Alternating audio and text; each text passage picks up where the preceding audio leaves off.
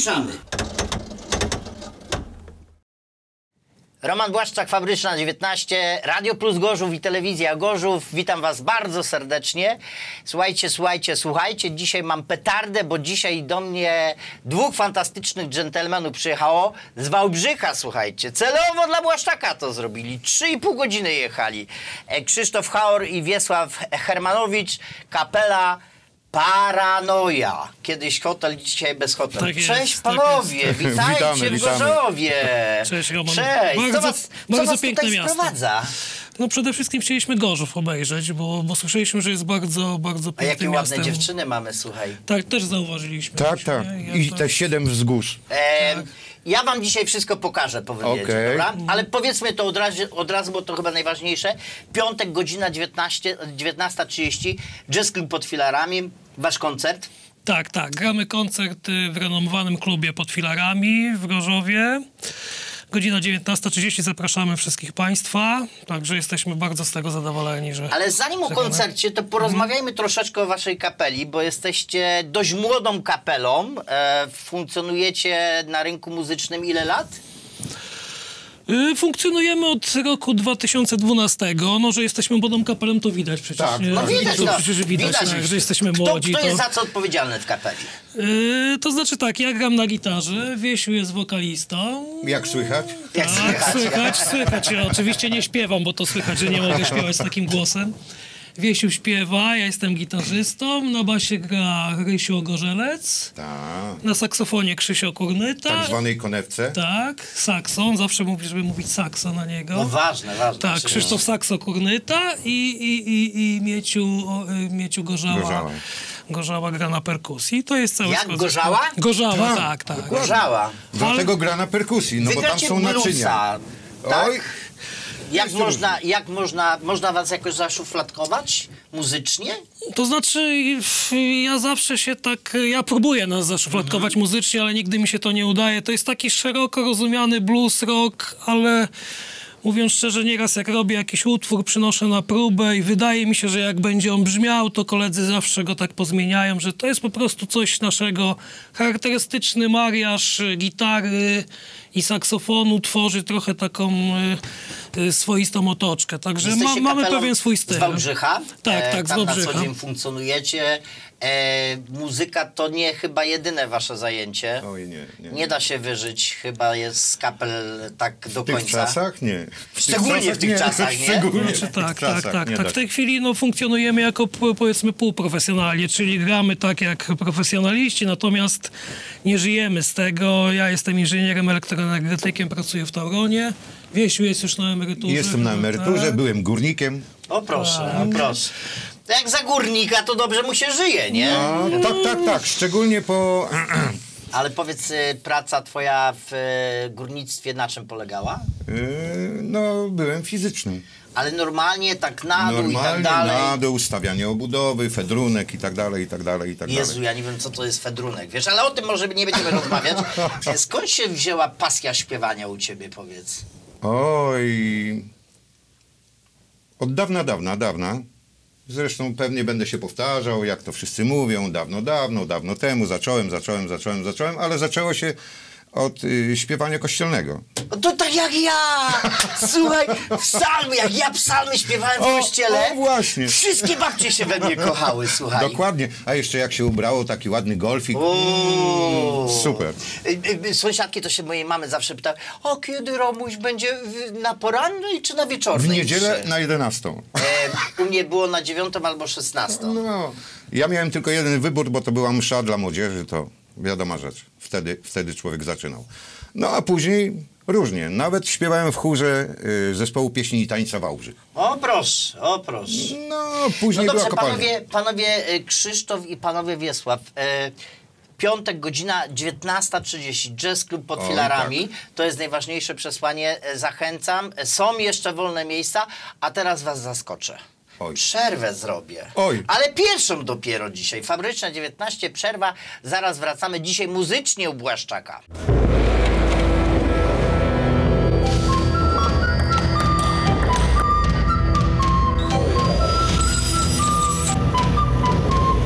Raz frytki proszę.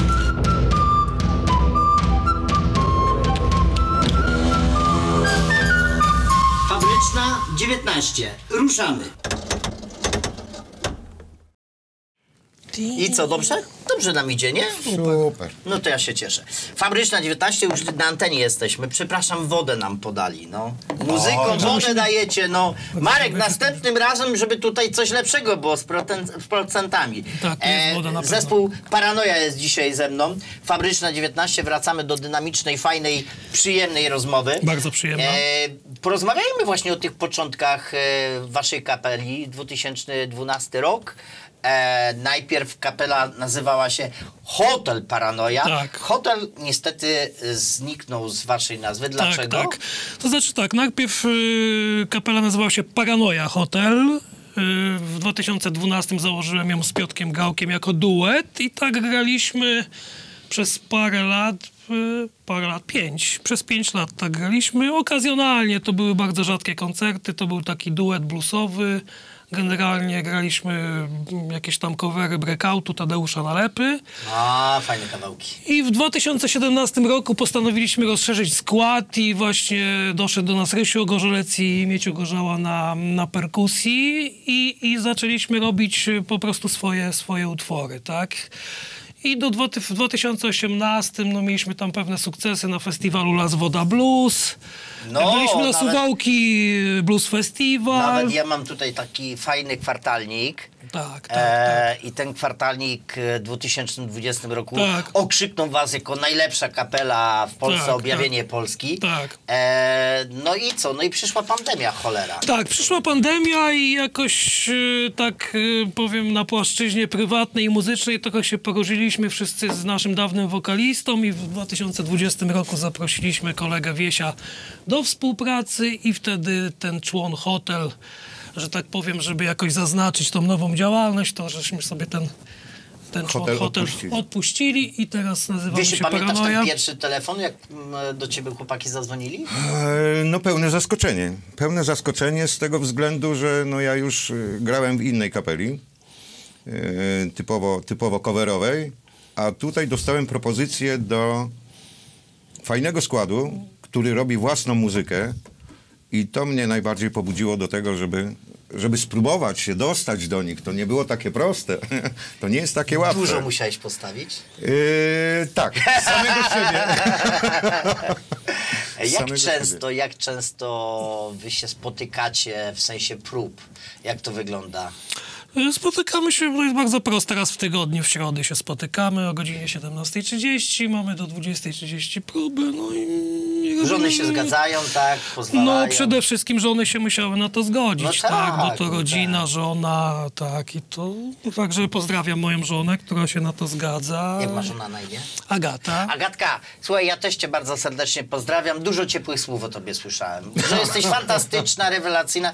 No, pracuję na twój wieczorny seks, Chociaż, wiesz? chociaż wysłałem jej na Messengerze wiadomość, że już jestem w Gorzowie, to mi odpisała, że spróbuj nie pojechać tam, gdzie ja będę chciała następnym razem, nie? Także, także wiesz, to jest coś za coś, Bartek, nie? No Ja tak, muszę, tak, tak, tak, tak. Także będę musiał... Ale wiesz, ja, ja też tak postępuję. Ja wszystko Aha, mogę w domu. aha, Wszystko, tak, wszystko. tak, no. tak, Jak myję okna, to dlatego, że lubię. No. No wiadomo, że małżeństwo to są jakieś tam kompromisy, tak? Ale daję sobie radę. Ale pewnie blues też... to nie rock and roll, więc wy jesteście grzeczni Tak, tak. No blues to jest muzyka dużo spokojniejsza niż rock and roll. My nie szalejemy, nie rozwijamy hotel.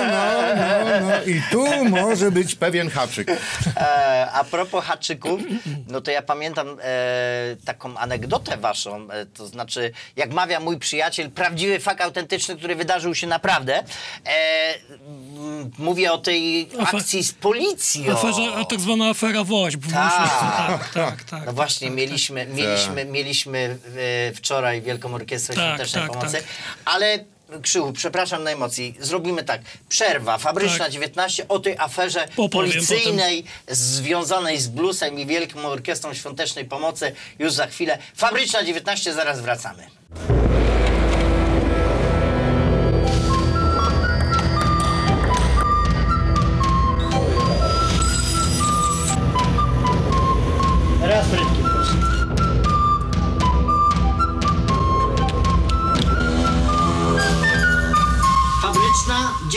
19. Ruszamy.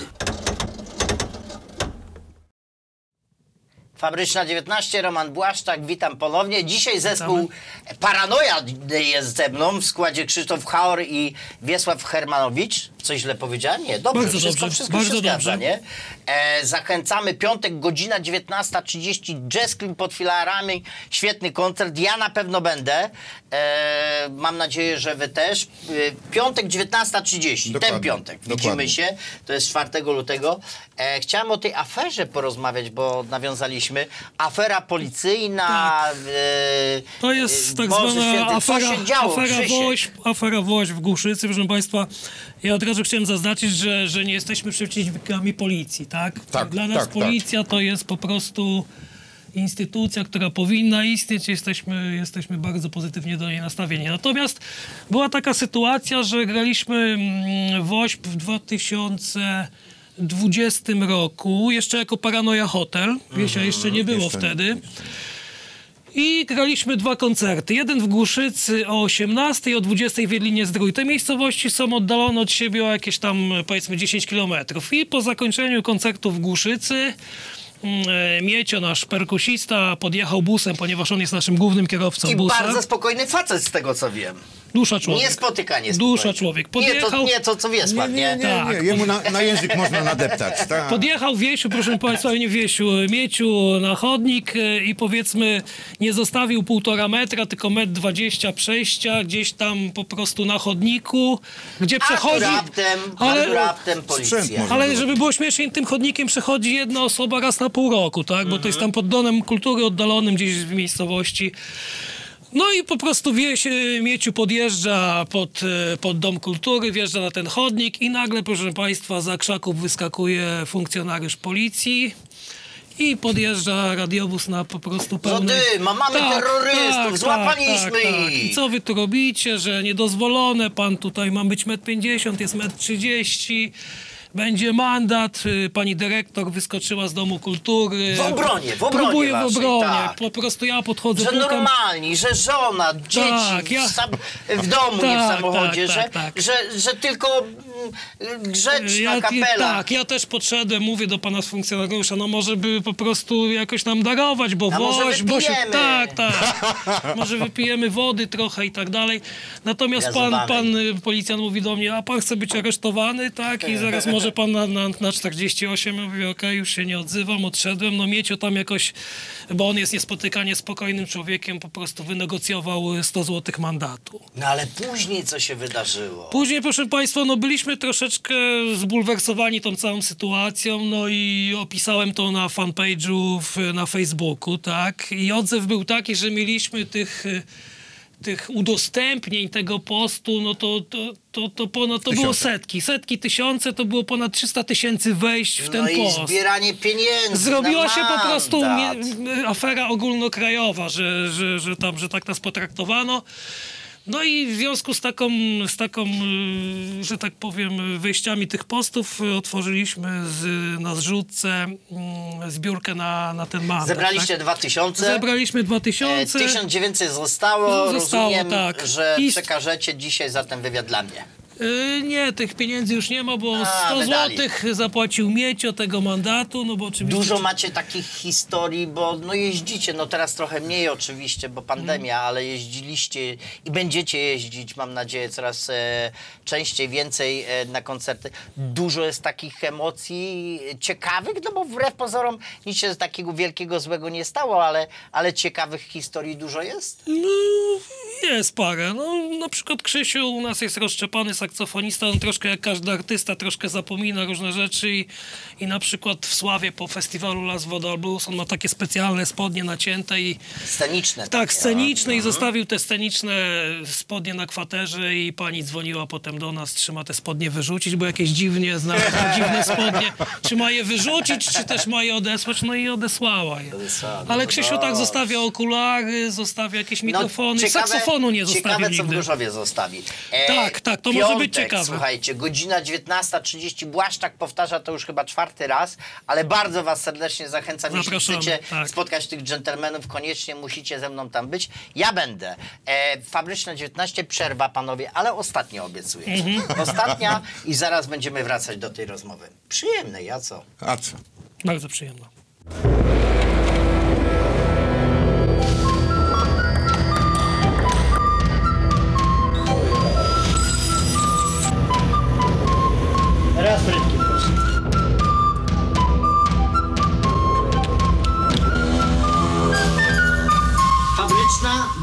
19. Ruszamy.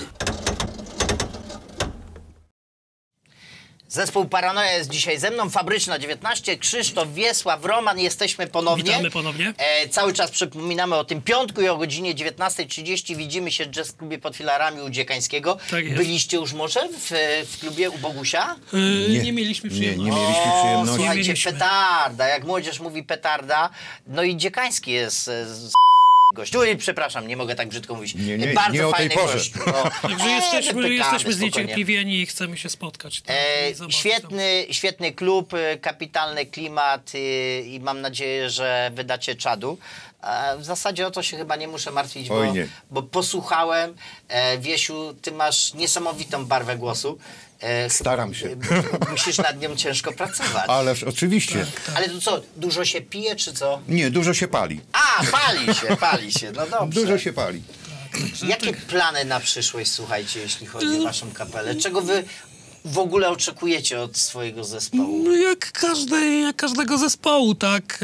E, czyli chcemy grać koncerty przede wszystkim, bo u nas na koncercie wyzwala się pewnego rodzaju energia, która, która jakoś tam przenosi się na publiczność i to jest dla nas największa frajda, ale też chcemy nagrywać, nagrywać e, jakieś tam płyty, żeby zostawić coś, coś po sobie. Ty, potem Krzysiu, tego. a dasz No coś właśnie. powiedzieć Wiesiowi, czy nie? Tak, tak. No, bo to mów. strasznie gaduła ten Krzysiek, wiesz? Bardzo dobrze. Tak jak, Wokalista zawsze najwięcej powinien ale mówić. tak jak gra na gitarze, to taki, Tak gada. taki gada. Ale ja jestem normalnie introwertykiem, tylko tak gadam po prostu jak się rozgadam. Pracuję, pracuję nad tą introwertycznością swoją, tak? Wiesiu. No właśnie dlatego yy, jeszcze raz zapraszamy. Piątek, godzina Piątek. 19.30. Dokładnie. I przyjedziemy też z naszą epką. Epka, to wiadomo co to jest. To nie, jest, epka, to jest, co to jest epka? Ja to wiem, że jest- to jest płyta, a nie epka. Co ty gadasz? to jest płyta, ale nie cała. To znaczy A, nie, nie, nie, takie- nie, nie cały skład. Epka, po, Ona nie ma- jasne, epka. Ona nie ma no. 10 utworów, tylko 5. Taki to jest więcej niż singiel, jeżeli państwo kiedyś... Ale ja rozumiem, że to jest prezent dla Błaszczaka. Ależ. Może być, może no, być. To, to ja mam propozycję, słuchajcie. E, to my zrobimy fajny konkurs jakiś e, na Facebooku. Okej, e, śledźcie, patrzcie i Błaszczak coś fajnego wymyśli. E, no ale nie odpowiedzieliście mi na pytanie e, następujące. Naj, najbliższa przyszłość e, Wiesiu, jeśli chodzi o kapelę? Co się Yy, wydarzy? Gramy, gramy, gramy, jeszcze raz gramy. Najbliższa przyszłość, no to na pewno będziemy grali u Dina. Czyli w Tczewie. Yy, W Tak. Pozdrawiamy cię, Grzesiu. E, Tak. Pozdrawiamy, pozdrawiamy. Yy, Jeszcze Renatę pozdrawiamy. Tak, Renatka No, też. Renatkę też. Yy, W każdym bądź razie jeszcze co nas czeka? Koncert za granicą. O! Tak. Do Moskwy jedziecie. Ta, nie, nie, nie, nie, Trafię. za południową, za południową a granicą. konkretnie? Czechy. Będziemy grali w No, Czechach. w Bromowie. W tak, Bromowie, w Bromowie. tak. To jest tuż za granicą. Od Wałbrzycha jakieś 40 kilometrów, tak. Dokładnie, dokładnie. W undergroundowym klubie Eden, tam e, w Bromowie udało nam się e, umówić, Załapać umówić- dzięki też tej płytce. Tak, tak, Dzięki tej płytce. Tak, tak. Mm, A jak się pytałeś o nasze plany, no chcemy właśnie już nagrać całą, całą płytę. Ale chyba najważniejsze z tego, co robicie, to ta pasja, która w was jest. Pasja jest od dziecka. Że- nas, że tak. po To prostu daje radość, nie? To się wszystko opiera na pasji, tak? O chęci grania i no to publiczność to widzi, bo jeżeli ktoś nie ma chęci, jest znudzony tym, co robi, no to to, to od razu widać na scenie. Natomiast, Publiczności nie da się oszukać. Oj, nie da, nie da. Oj, nie. Natomiast my już dzieci odchowaliśmy, już mamy żony, już nie musimy jakoś szukać Tylko te czegokolwiek. okna czasami trzeba pomyć, Okna nie? trzeba pomyć, czy tam wiesz, różne rzeczy ugotować, tak? I no my nie musimy paru rzeczy. No zarabiamy. Na siłę nic nie musimy Tak, robić. pracujemy, mamy inne zawody, ale Ej, gramy dla pasji. Kochani, ja jestem absolutnie przekonany, że to będzie fantastyczny koncert. Zachęcam bardzo serdecznie. Słuchajcie, piątek, godzina 19.30, Jazz Club pod filarami, zespół Paranoja. Ja jestem, mam nadzieję, że wy też będziecie. E, Krzysiu, Wiesiu, ostatnie półtory zdania, gdybyście chcieli zachęcić do przyjścia. Wiesiu, pierwszy? Jesteśmy piątką, tak jak tutaj. Piątka z dziurą w środku. A czemu z dziurą? Przestrzelona? Przestrzelona. Covidem przynajmniej, na, jak na razie. Ja bym Państwa serdecznie zapraszał na koncert i żeby się przekonać, bo to, co tutaj mówimy, to tak sobie mówimy, ale trzeba przyjść i przekonać się, czy rzeczywiście ta energia się wyzwala i do tego zapraszam Państwa, Jazz się o tym Club pod filarami, godzina 19.30, piątek widzimy się. Dziękuję panowie Dziękujemy. za tą przemiłą My rozmowę. To była dla mnie naprawdę duża przyjemność. Dla nas Dla nas również. Dziękuję. Fabryczna 19. Do zobaczenia, do usłyszenia za tydzień.